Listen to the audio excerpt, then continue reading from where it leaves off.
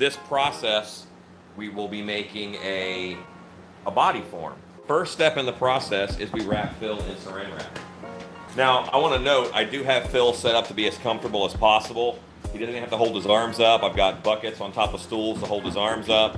And um, he's standing on anti-fatigue mats. So he is as comfy as I can make him, but this is not a comfortable thing. And I actually want to do, we're going to do him in two stages for comfort. We're going to do nips down, and then we're going to do belly button up. And then I can cut them and tape them together wherever I want. This will be uh, covered in heavy duty clear packing tape, about three layers. Then we will uh, cut it off of him and then tape it back together. So it's its own thing that holds itself up, and I'll put foam inside of it to make a solid figure. It will be fun. This is the same way that I make the transparent ghosts. I've also made ice creatures out of this. Um, it's a good technique for just a stiff, clear body form. And then, once I foam it, I've made my own mannequin. Right now I have about $35 invested in clear tape, which I'll probably use most of. So, yeah. I'm actually not going to tape over Phil's head on this. We're going to get his neck, yes, but that's so that I can do a head form off of this guy, and we'll just take the two together. Using this technique, you can take one person's arms and put them on a different person's legs, and you, know, you can have that kind of fun with it if you want. But I just don't like making folks suffer through it for longer than we have to. Okay. Everybody grab uh, some tape. Here's tape. Here's tape. I have tape. I got tape. Uh, you also want to grab a pokey stabby No. just to mess with Phil. No. All right, and we want to cover him in tape. And but this is clear and this is clear, so it's very hard to tell where we were. So make sure that you have a system.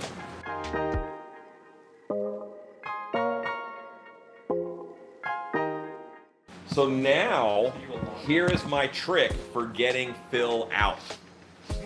I'm going to take this little shtick, and this goes in between the tape and the shirt.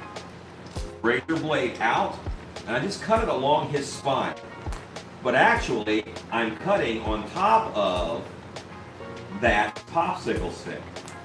And Phil is going to get this huge sigh of relief when uh, when it finally when it, it's gonna yeah you'll be able to breathe like never before. All right, so now we can have Phil just step out of this. Back it up, Phil. Back it up, Phil. All right, we're gonna set this off to the side, but look at how well that holds up.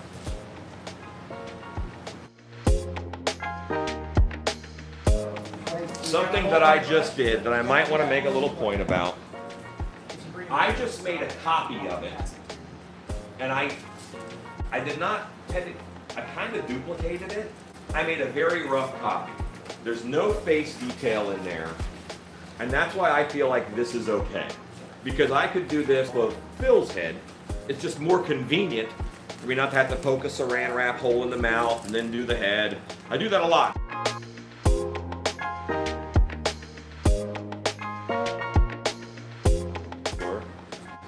Figure out how to attach this head to this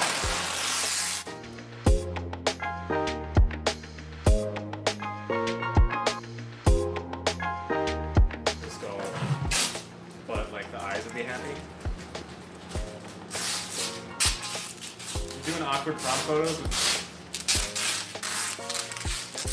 So what I'm doing right now is I'm opening up the Sika foam from Home Depot. It's an AB foam. It's about 11 bucks for this bag. I think I got another bag of this somewhere in here. I'm gonna get a bag in the head right away. This should take nine packs of this foams. Between eight and nine packs of this foam. I'm cutting this down the middle side.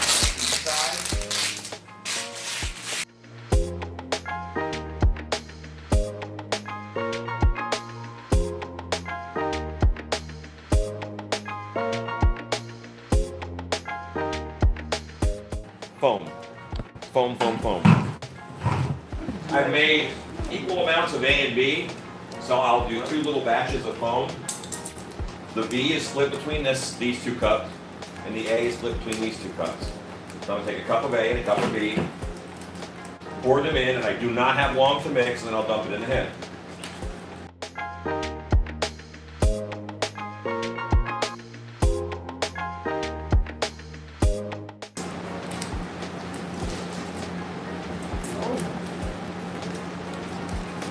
You guys see it increasing in volume?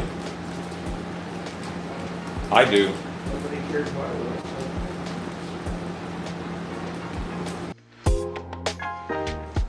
Uh, you can use any kind of AB foam. Uh, go to a special effects store like Mold Life or something, and uh, they will have an AB foam that you can use.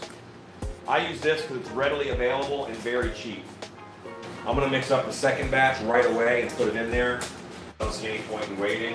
It'll just make my cup harder to mix. But I'm going to foam this up as much as I can, and then we'll take the uh, legs onto this, and then we can pour the foam in the top of the legs.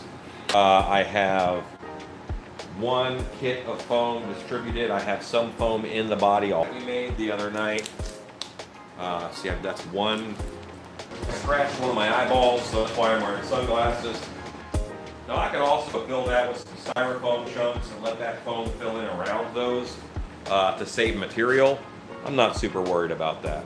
You can see that this arm is now full and actually coming out, coming out past it. Okay, once again, I'm going to wait till I see it rising.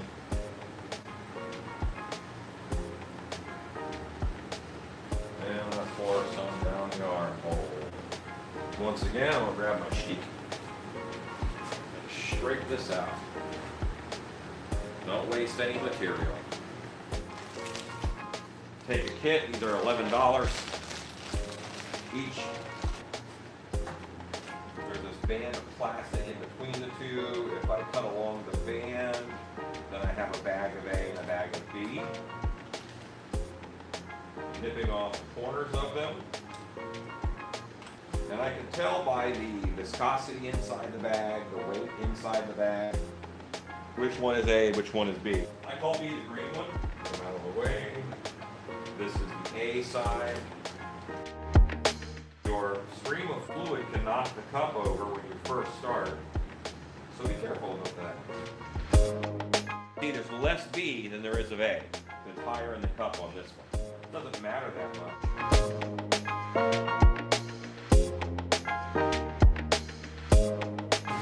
So this doesn't take super good mixing. If it, if it required a lot of mixing, then you wouldn't be able to do it while it's still in the bag. You know, you have to get it out and all that, scrape the sides.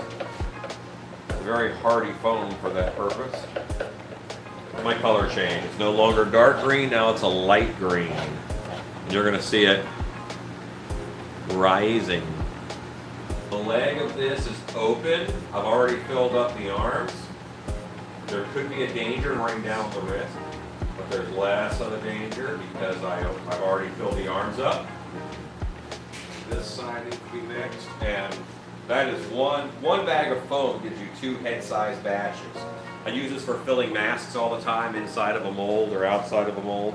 You know, this batch might rise enough to uh, let that leg fill up.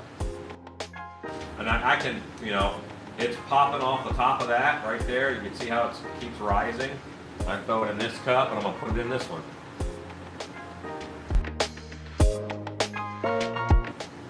Not taking as many bags as I thought. I think this might be uh, seven bags to get him all the way tip top full.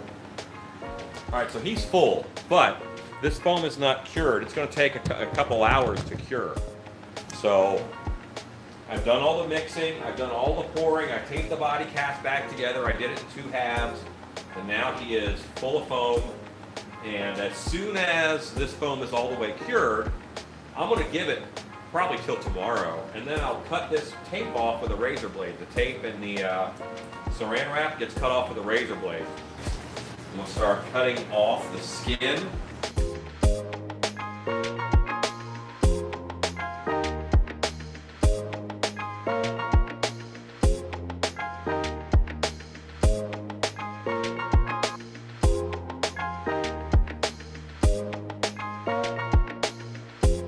So this was supposed to be, I came here, I was going to film the final bit of this video to show you the finished mannequin. Instead, I'm going to show you that years later, uh, this guy is still kicking around. Uh, he's no longer shiny new. Um, he is set up to be freestanding. I don't have his arms on him right now. I don't have his head on him right now.